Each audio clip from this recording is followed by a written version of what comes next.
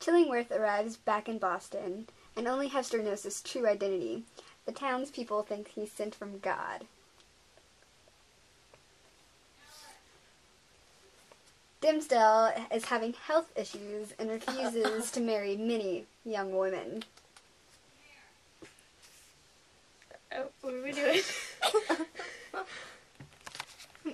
I don't need a doctor to take care of me. really? I think you're in need. I think I can figure it out. Really? The townspeople seem to think I'm very beneficial. What good would it do to me?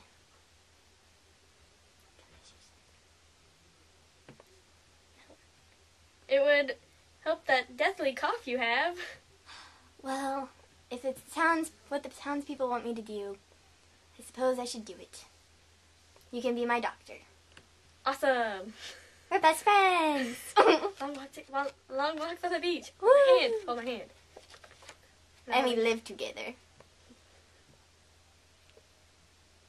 Yay. okay.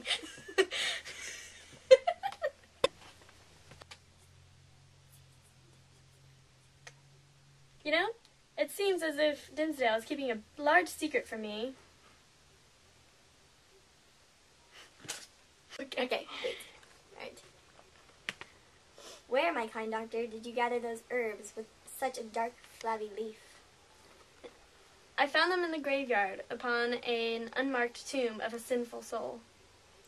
What does that mean? A man was buried there with a secret, a large secret. Some men bury their secrets thus. True, there are such men, but not to suggest more obvious reasons. It may be that they are kept silent by the very constitution of their nature. They go about among their fellow creatures looking pure as new fallen snow, while their hearts are all speckled and spotted with inqui- iniquity of which they cannot rid themselves. These men deceive themselves. They fear to take up the shame that rightfully belongs to them. Their love for man, their zeal for God's service, these holy impulses may or may not coexist in their hearts with the evil inmates to which their guilt has unbarred the door, and which must needs propagate a hellish breed within them. It may be so. And then Hester and Pearl. I think it's Hester and Pearl.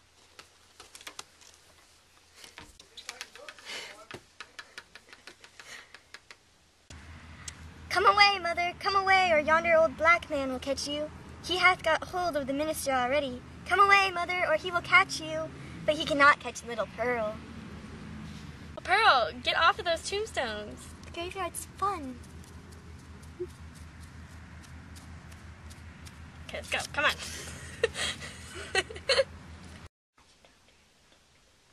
As your physician, I think it'd be good for you to confess any sins or any ill thoughts that you might have on your mind, Dimmesdale.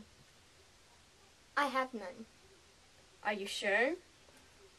If I confess everything, then the townspeople will look down upon me. I'm supposed to be their pure figure. But I think that your sickness may have something to do with your untold sin. It does not. Then, like this emotional. He acts so passionately. I'm very sorry. I shouldn't have acted the way I did. Let's be friends again. Yay! Dimmesdale fell into a deep sleep in which Chillingworth used to his advantage to get the secret.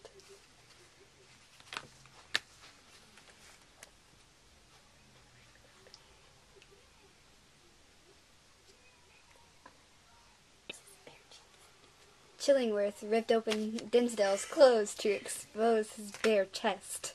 Oh my goodness! Is that it?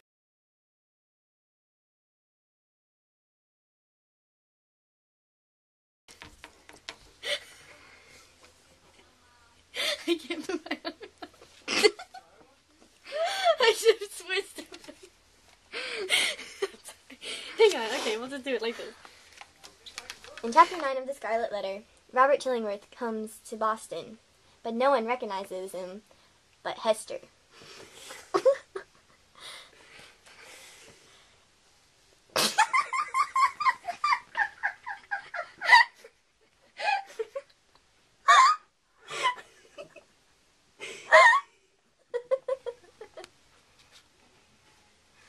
Dance party. What are you And